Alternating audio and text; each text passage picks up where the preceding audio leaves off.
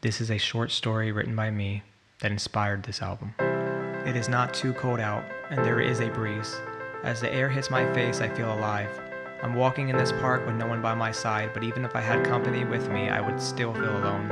I find joy in the fact that I'm by myself. We all are.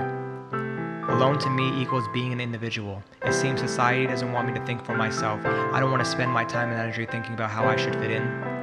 Grass looks so green, it reminds me of the wild forests and all the secrets that it obtains of our past, of the earth's past. As I stare at the grass beneath me, I see ants living their lives. I wonder if they can love. It seems that love is a fundamental concept to us humans, so why not animals and insects? The wind interrupts my thoughts with its singing tune. I keep on moving forward and I quickly analyze the way I'm walking. Before I can truly figure out my walking pattern, I see a squirrel in the corner of my right eye. He stops and is looking for something. I wonder what he is missing. He takes a few steps and sniffs. I walk slowly towards him, not to scare him off. It seems the little squirrel doesn't mind my presence and carries on his search. I keep on moving forward and I see on the ground crunchy leaves, ready to be stepped on. I'm not sure why, but stepping on these autumn crumbly leaves makes me feel happy inside. The trees are above me and I witness the leaves unattached from the tree and gently, with the help from the wind, fall to the ground. It humbles me. I begin to feel like a leaf, floating in the wind in which we call life, and soon I will fall and vanish within nature, within the universe. I begin to move forward and realize that during the season of autumn everything looks so beautiful but everything that looks beautiful around me is dying. I feel like a leaf. I know it's strange to say or think, but I feel like a leaf. Are we all leaves feeding this earth? Hello, how are you? I hear someone say. Like a robot, I answer, Good, how are you? I look, and it is an old man wearing a gray cardigan and blue jeans. He has a medium length white hair that is slicked back neatly. He calmly says, Death is all around us, isn't it? My heart almost burst inside my chest. I exclaim, That is so strange. I was thinking that in my head before you said hi to me. The old man begins to talk. My love died two days ago, and now the season is reflecting my loss. I begin to apologize for his loss, and my mind starts to race. And why is he telling a stranger this information?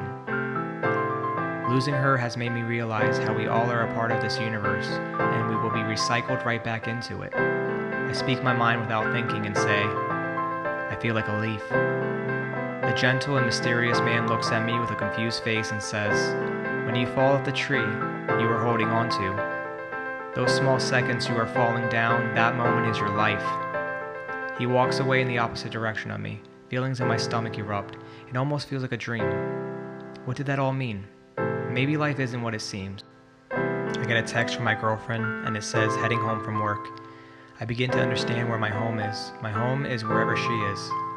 I walk calmly but thoughtfully to my car. I turn on the engine and begin to drive. I'm wearing my favorite gray and white hoodie. It feels so comfortable on me.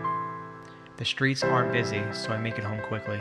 I open the door and see my beautiful girlfriend and I tell her, You make me feel like autumn. Your hair is dark brown like the tree trunks. Your eyes are hazel and reminds me of the autumn leaves.